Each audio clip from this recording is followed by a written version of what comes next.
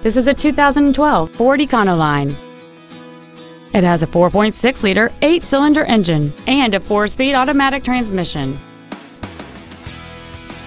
Features include a low tire pressure indicator, traction control and stability control systems, full power accessories, 12-volt power outlets, privacy glass, an anti-lock braking system, dual airbags, door reinforcement beams, air conditioning, and this vehicle has fewer than 21,000 miles on the odometer.